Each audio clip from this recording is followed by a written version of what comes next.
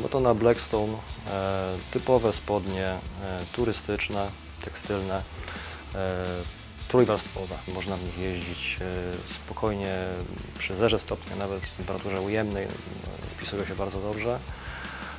Natomiast robi się cieplej, wypinamy ze środka kolejne warstwy. Pierwszą z nich jest podpinka ocieplająca.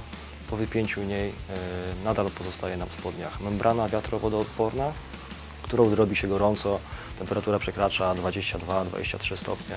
Możemy również wypiąć ze środka.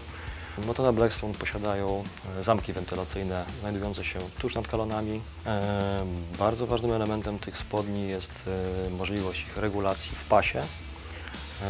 To z jednej strony są to elastyczne gumy wszyte w pas, z drugiej strony są to paski spinające na rzepy, które po prostu umożliwiają nam dopasowanie spodni tak, żeby po prostu nam nie spadały.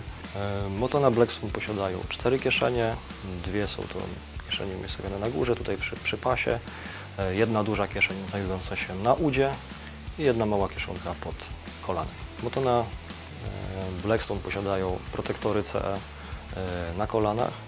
Ważnym elementem jest to, że te protektory mają możliwość regulacji i dopasowania ich e, po prostu położenia. E, Dodatkowo e, spodnie posiadają protektory w postaci pianek antyuderzeniowych na biodrach, znajdujące się w specjalnych kieszeniach.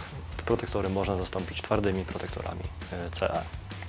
Mm, Dodatkowo spodnie posiadają system odblasków.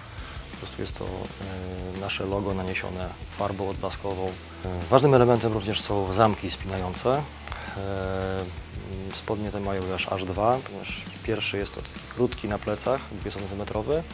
Dodatkowo jest jeszcze również spodnie są wyposażone w długi zamek, który możemy się właściwie spiąć dookoła ciała, a wtedy spodnie z kurtką tworzą kombinezon. Jeszcze takim dosyć istotnym elementem jest, który znajduje się w kroku, to jest specjalny taki materiał antypoślizgowy, dzięki któremu po prostu nie ślizgamy się na e, siedzisku motocykla.